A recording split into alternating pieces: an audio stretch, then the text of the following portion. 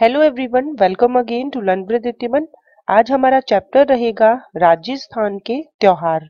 तो राजस्थान का जो आर्ट एंड कल्चर है, वो बिल्कुल फैक्चुअल है। आप लोगों को यहाँ पर लर्न बहुत ज़्यादा करना है, ठीक है? जो फैक्ट है, इनको ध्यान में रखना है, याद करना है, यही एग्ज़ाम में पूछे जाते हैं।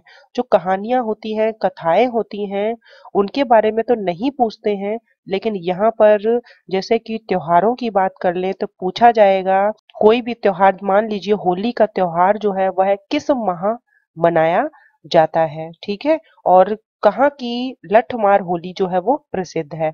इस तरीके के क्वेश्चन इस चैप्टर में से पूछा जाएगा, ठीक है? तो त्योहार जो है, वो देखिए, एक साल में बहुत सारे त्योहार जो है, वो हम लोग मनाते हैं। तो हम सभी जानते हैं कि भारत जो है वो विविधताओं से भरा देश है। यहाँ पर सभी धर्मों के लोग रहते हैं। तो कोई ना कोई त्योहार तो हर महीने आता ही रहता है और लगभग पूरा साल जो है वो त्योहारों से ही भरा रहता है। तो त्योहारों का मतलब ही क्या होता है? खुशियाँ आना। मान लीजिए होली आ रही है, दिवाली आ रही है या कोई और त्योहार आ रहा है और हम क्या करते हैं कि हम अपने घर जाएँगे, ऐसा मन में विचार लेकर आते हैं, छुट्टियाँ मनाएँगे, परिवार के लोगों के साथ मिलेंगे और थोड़े समय के लिए हमें अपने काम से फुर्सत भी मिल जाएगी तो हम वैसे ही खुश हो जाते हैं। दूसरा, हम अपने परिवार के साथ मिलते हैं तो और भी ज़्यादा खुश हो जाते हैं। तो ऐसे त्योहार जो है, उसमें खुशियाँ जो है, वो दुगनी हो जाती हैं। तो राजस्थान की यदि बात करें तो यहाँ पर एक कहावत जो है, वो प्रचलित है कि सात बार न्यो त्योहार। यानी कि यहाँ पर वार सात है। एक हफ़्ते में सात दिन है, लेकिन यहाँ त्योहार जो है, वह नौ मनाए जाते हैं। तो इतने ज़्यादा त्योहार जो है, यहाँ पर मनाए जाते हैं। ठीक है? तो क्यों मनाते हैं या त्योहार जो है? या कहीं भी त्योहार क्यों मनाए जाते हैं? लोग अपनी खुशी को ज़ाहिर करने के लिए भी मनाते हैं। कोई मौसम परिवर्तन हो, तब भी मनाते हैं। या फिर गाँव में देखें तो जो किसान है, उसकी फ़सल जब पक जाती है और कटने के लिए तैयार रहती है तो कटाई के बाद जो है वो त्योहार मनाता है। तो ये उत्सव, त्योहार, मेले जो हैं, सांसारिक उलझनों में फंसे लोगों को कुछ समय के लिए शांति प्रदान करते हैं। ठीक है? तो चलिए, इनको ही हम पढ़ने वाले हैं। थोड़ा सा हम ये देखेंगे कि हिंदू कैलेंडर के अनुसार हमारे 12 माह आते हैं। ठीक है? तो वो कौन कौन से आते हैं? इनको बहुत ज़्यादा अच्छे तरीके से, एकदम सिक्वेंस वाइज में आप लोगों को ये याद रखने हैं। इन्हीं से संबंधित जो है वो आपको यहाँ पर त्योहार जो है याद रखने पड़ेंगे कि कौन सा त्योहार जो है वो किस माह में आता है। तो देखिए, सबसे पहले है चैत्र वैशाख जेठ, आषाढ़, श्रावण, भादो, आश्विन, कार्तिक, मार्गशीर्ष। पोष माघ और फागुन। तो ये बारह माह है हिंदू कैलेंडर के अकॉर्डिंग। तो ये चीज़ें आपको याद रखनी पड़ेंगी बहुत अच्छे से। बार बार इनको बोलेंगे जिनको याद नहीं है, चैत्र, बैसाख, जेठ, आषाढ़, सावन, भादो, आश्विन, कार्तिक, मार्ग, पोष, माघ और फागुन। ऐसे आप याद रखेंगे, ठीक है? तो थोड़ा जानिए कि चैत्र जो है, वह मार्च और अप्रैल का जब माह आता है, इनको तो आप अच्छे से जानते ही हैं तो उस वक्त हिंदू कैलेंडर के अनुसार कौन सा माह चल रहा होता है? चैत्र माह, ठीक है? अप्रैल, मई में बैसाख माह, मई, जून जब बहुत तेज गर्मी पड़ती है, भीषण गर्मी पड़ती है तो कहते भी है कौन सा माह चल रहा है? जेठ का, ज्येष्ठ माह चल रहा है।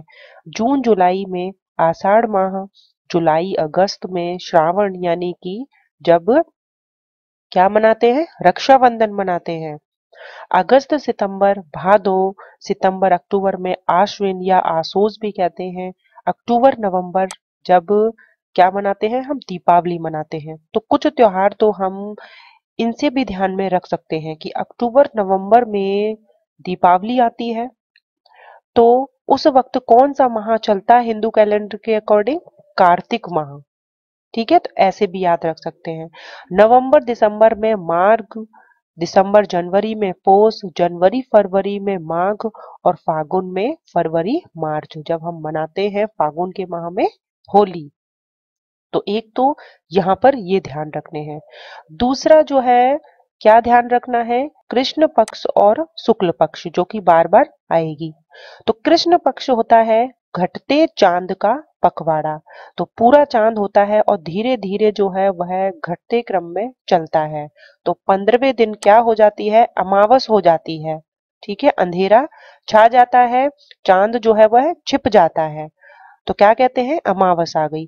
तो जब चाँद जो है घटते चाँद का पखवाड़ा होता है तो उसे कहते हैं कृष्ण पक्ष और बढ़ते चाँद का पखवाड़ा उस वक्त होता है शुक्ल पक्ष। और इसी दौरान जो है धीरे धीरे चाँद जो है, वो बढ़ता चला जाता है और पंद्रहवें दिन क्या आ जाती है? पूर्णिमा आ जाती है। ठीक है?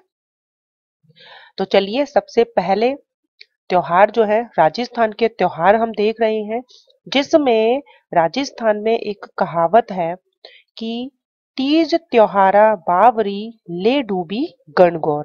यानी कि त्योहारों के चक्र की शुरुआत श्रावण माह में जो तीज होती है, छोटी तीज तो उससे मानी जाती है। और अंत जो है गनगौर से माना जाता है। तो राजस्थान के संबंध में एक तो ये याद रखें कि त्योहारों के चक्र की शुरुआत होती है छोटी तीज से, जो श्रावण माह में आती है, और अंत होता है गनगौर से। ठीक है? तो चलिए पढ़ेंगे सबसे पहले छोटी तीज। छोटी तीज जिसे श्रावणी तीज भी कहते हैं, सावन में ही आती है। शुक्ल पक्ष की तृतीय को हम छोटी तीज मनाते हैं। तो तीज के साथ त्योहार का आगमन हो जाता है और घनगौर के साथ हो जाती है समाप्ति, ठीक है? तो ये दोनों बातें तो आप ध्यान में रखेंगे तीज के साथ त्योहारों का आगमन और घनगौर के साथ समाप्ति। तो यहाँ तक आपको सारी चीज़ें याद भी हो गई होंगी। जयपुर में तीज माता की सवारी निकाली जाती है, ठीक है? जयपुर में तीज माता की सवारी निकाली जाती है। एग्ज़ाम में कई बार ये क्वेश्चन जो है, वह पूछा भी गया है। तो देखिए, महिलाओं का तो सबसे प्रिय त्योहार है छोटी तीज, और ये भी कहते हैं कि जब किसी का विवाह हो जाता है तो उस जो विवाहित स्त्री होती है, उसे ससुराल में ना रहकर उसे पीहर भेज दिया जाता है। क्योंकि कहा जाता है कि पहली तीज पर सास और बहू एक साथ नहीं रहेंगी तो इसीलिए ससुराल पक्ष से बहू को उसके पीहर भेज दिया जाता है। इस दिन जो है, हाथों पाओ में मेहंदी जो है वो लगाई जाती है, श्रृंगार किया जाता है और गीत वगैरह ये भी गाए जाते हैं। पेड़ों पर झूला डालकर जो है, झूला भी जाता है। तो जो लड़कियाँ हैं वो तो इस त्योहार से बहुत अच्छे से परिचित हैं। और जो गुलाबी नगर जयपुर है, उसका तीज का त्योहार जो है वो बहुत प्रसिद्ध है। नेक्स्ट देखिए, रक्षाबंधन। नारियल पूर्णिमा भी इसे कहते हैं, ठीक है? रक्षाबंधन को नारियल पूर्णिमा भी कहते हैं और श्रावण मास की पूर्णिमा को रक्षाबंधन का त्योहार मनाया जाता है। तो ध्यान में रखेंगे, रक्षाबंधन का त्योहार कब मनाया जाता है? सावन में। इस दिन बहन जो है वो भाई को राखी बांधती है और भाई जो है बहन को क्या देते हैं? बदले में उपहार देते हैं। नेक्स्ट देखिए, सावन में ही मनाया जाने वाला त्योहार है नाग पंचमी। तो नाग पंचमी नाम से ही पता लग रहा है, नागों की होगी पूजा और सावन की जो पंचमी है, कौन सी? कृष्ण पंचमी। तो इस दिन मनाते हैं नाग पंचमी। नागों की पूजा की जाती है और श्रावण कृष्ण पंचमी को नाग पंचमी का त्योहार मनाया जाता है। ठीक है? खीर वगैरह बनाई जाती है और नाग बनाकर जो है, उनकी पूजा जो है इस दिन की जाती है। तो हमें तो एग्ज़ाम के अकॉर्डिंग ही इन चीज़ों को याद रखना है कि त्योहार जो है, यह कौन से माह में मनाया जाता है और कौन सी तिथि को मनाया जाता है और इस दिन किसकी पूजा की जाती है? अगला देखिए, बड़ी तीज या जिसे बूढ़ी तीज भी कहते हैं, जिसे सातुड़ी तीज भी कहते हैं और जिसे कजली तीज भी कहते हैं। तो एक तो ये चारों नाम याद रखें, बड़ी तीज, बूढ़ी तीज, सातुड़ी तीज और कजली तीज। तो एक तो हमने देखा कि तीज का त्योहार जो है पूरे राजस्थान में सावन माह में मनाया जाता है, वह होती है छोटी तीज। और ये कौन सी है? बड़ी तीज। और यह भाद्रपद कृष्ण तृतीय को मनाई जाती है। कजली तीज बूंदी की प्रसिद्ध है। कहाँ की प्रसिद्ध है? बूंदी की प्रसिद्ध है। वहीं पर जो गुलाबी नगर जयपुर में छोटी तीज का त्योहार प्रसिद्ध है, ठीक है? और ये एग्ज़ाम में, कई बार एग्ज़ाम में पूछा गया है कि कजली तीज जो है कहाँ की प्रसिद्ध है? तो बच्चे क्या सोचते हैं, तीज ही तो है ये है। तो कहाँ की प्रसिद्ध होगी? जयपुर की प्रसिद्ध होगी। तो ऐसा करके वो कर देते हैं गलत। तो कजली तीज तो बूंदी की प्रसिद्ध है और वहीं पर जो श्रावण की तीज है, वह जयपुर की प्रसिद्ध है। ठीक है? इस चीज़ को ध्यान में रखेंगे। नेक्स्ट त्योहार है हल छठ।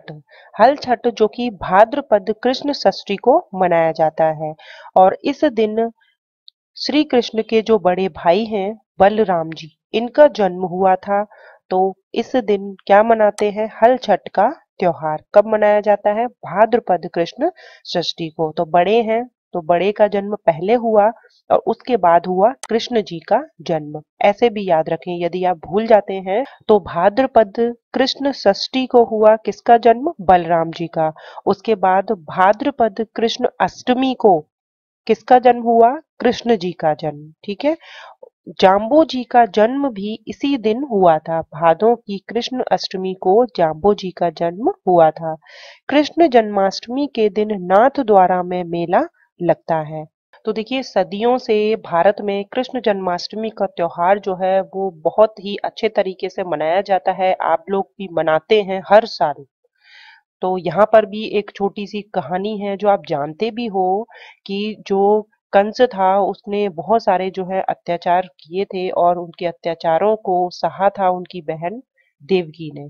तो देवकी की आठवीं संतान के रूप में भगवान श्री कृष्ण जो है वो जन्म लेते हैं। किस दिन लेते हैं ये? कृष्ण पक्ष की अष्टमी को। ठीक है? ध्यान में रखिएगा।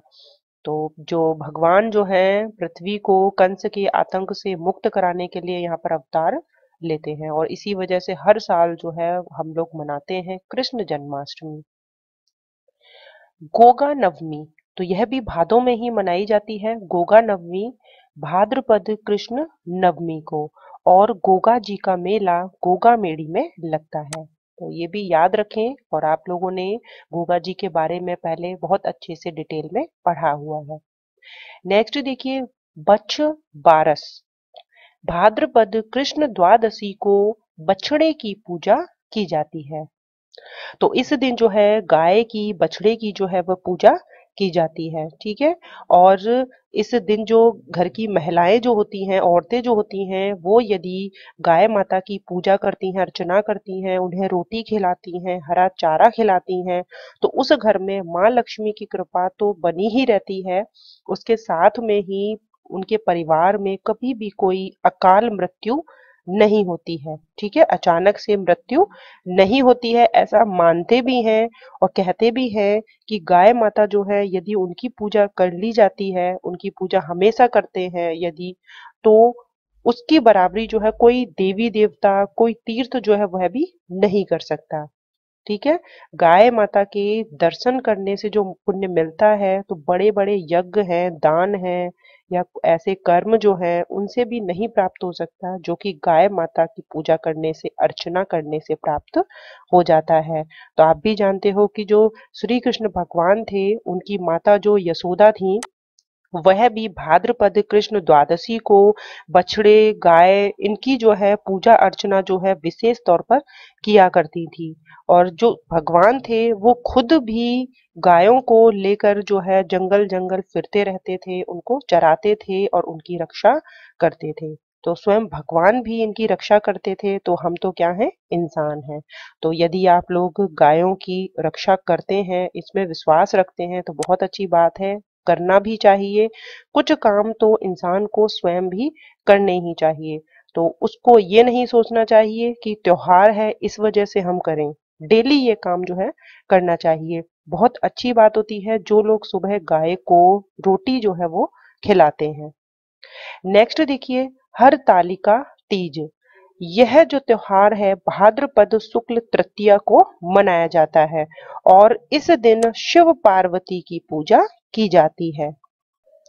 तो ये जो त्योहार है, ये मानिए कि ये त्योहार जो है, करवा चौथ का त्योहार से भी कठिन माना जाता है, क्योंकि करवा चौथ में तो चाँद देखने के बाद व्रत जो है वो तोड़ दिया जाता है।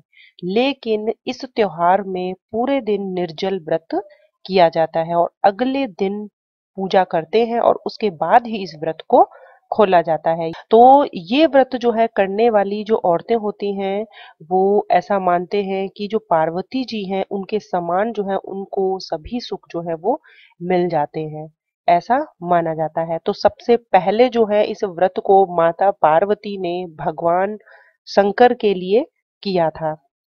तो इसी वजह से ये चीज़ जो है वो चली आ रही है और इस दिन व्रत करने वाली जो औरतें होती हैं, वो सुबह जल्दी जग जाती हैं, नहा धोकर जो है श्रृंगार वगैरह कर लेती हैं और फिर जो है पूजा अर्चना करती हैं और पूरे दिन जो है भजन गीत जो है वो गाए जाते हैं, रात में जागरण किया जाता है और उसके बाद जो है शिव पार्वती की कथा सुनी जाती है। तो इस तरीके से ये त्योहार जो है वो मनाया जाता है। लेकिन फिर भी मैं बार बार ये बोलती हूँ कथा जो होती है, कहानी जो होती है, वो एक माध्यम होता है याद रखने का। लेकिन हमें याद क्या रखना है कि हर तालिका तीज जो है वो भाद्रपद शुक्ल, तृतीया को मनाई जाती है और भगवान शिव और माता पार्वती की पूजा इसमें की जाती है। नेक्स्ट त्योहार है गणेश चतुर्थी। भाद्रपद शुक्ल चतुर्थी को मनाई जाती है गणेश चतुर्थी।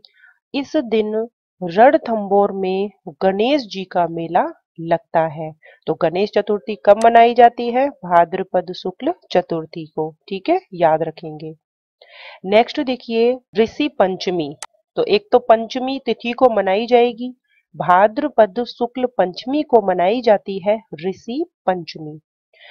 इस दिन जाने अनजाने में हुए पापों को धोने हेतु व्रत होता है।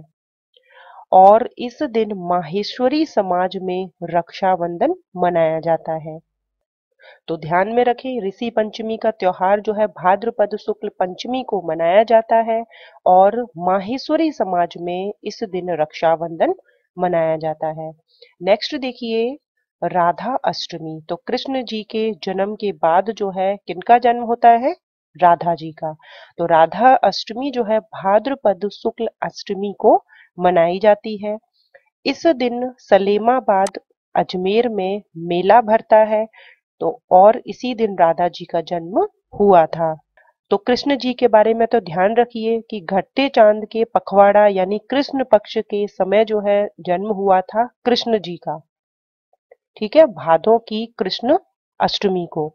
और शुक्ल पक्ष में होता है राधा जी का जन्म, भाद्रपद शुक्ल अष्टमी। तो शुक्ल और कृष्ण बस इतना ही अंतर है और इसको याद भी रख पाएँगे। कृष्ण जी जो है वो सांवले थे तो याद रख पाएँगे कृष्ण अष्टमी को।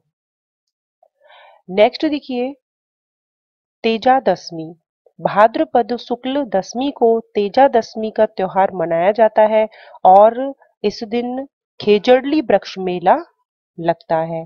जो कहाँ लगता है? खेजड़ली गाँव में और ये कहाँ है? जोधपुर में। याद रखेंगे खेजड़ली वृक्ष मेला जो है, कहाँ पर लगता है? खेजड़ली गाँव में, जोधपुर में। और इस दिन विश्वकर्मा जयंती भी मनाई जाती है। तेजा दसवीं के दिन में इस दिन औजारों की पूजा की जाती है। औज़ार यानी कि किसी के पास जो है वो बंदूक होती है, बंदूक की पूजा करते हैं, तलवार होती है तो तलवार की पूजा भी की जाती है, ठीक है? नेक्स्ट देखिए, देव झुलनी या जिसे जल झुलनी एकादशी भी कहा जाता है। यह भाद्रपद शुक्ल एकादशी को मनाई जाती है और भगवान विष्णु को बेवाड़ में बैठाकर जलाशय में स्नान करवाया जाता है। बेवाड़ क्या है? लकड़ी की मंदिर नुमा आकृति होती है। कैसे किया? भगवान विष्णु को बेवाड़ में बिठाकर जलाशय में स्नान कराया जाता है। ठीक है? इस दिन पुरुष जो है, वो क्या करते हैं? व्रत रखते हैं। याद रखेंगे, देव झुलनी के दिन जो है, पूछा जा सकता है, व्रत कौन करती हैं? तो महिलाएँ नहीं, बल्कि पुरुष जो है, इस दिन व्रत करते हैं।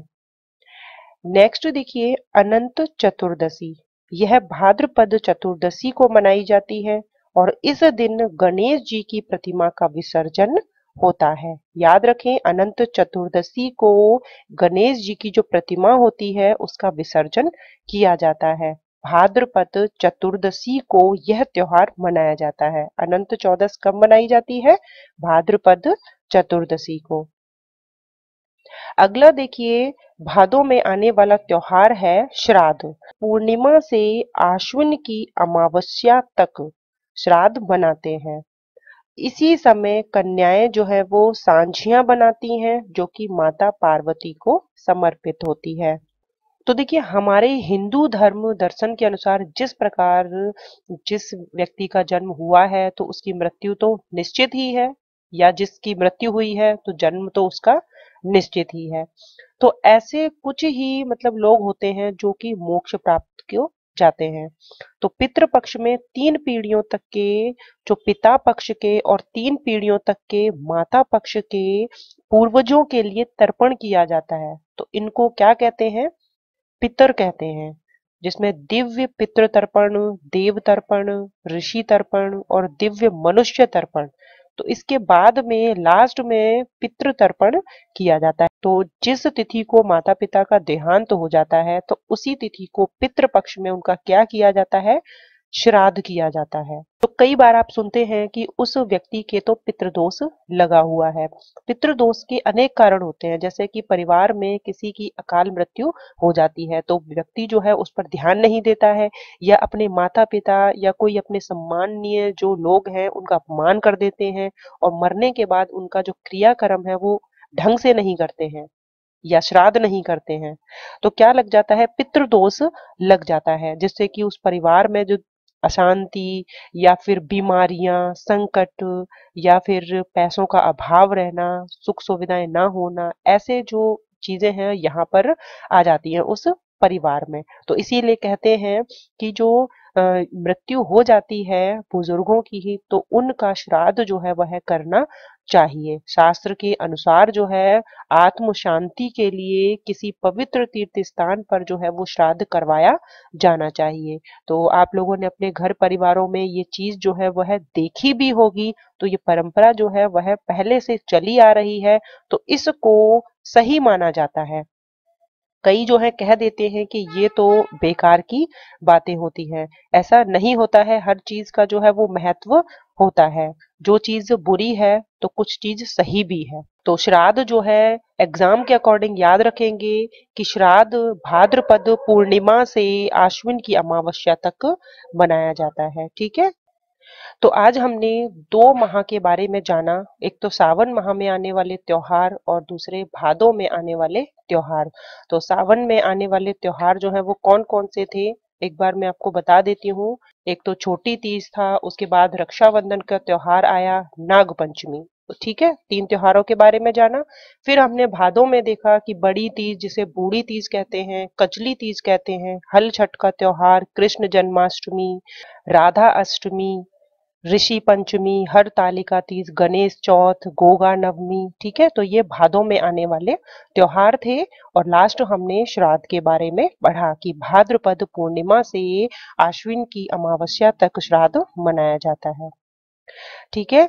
तो चलिए नेक्स्ट वीडियो में हम आश्विन माह में आने वाले त्योहारों के बारे में पढ़ेंगे। तो इस तरीके से थोड़ा थोड़ा करके ही पढ़ेंगे, जिससे कि आपको ये चीज़ें जो है अच्छे से याद हो जाएँ। आपका काम ये है कि आपको ये आज ही ये चीज़ें जो है अच्छे से याद कर लेनी है। तो याद रखिए, राजस्थान का जो आर्ट एंड कल्चर है तो इसमें जो फैक्ट है, वो आपको बहुत अच्छे से याद रखने हैं। तो मिलते हैं नेक्स्ट वीडियो में। Thank you.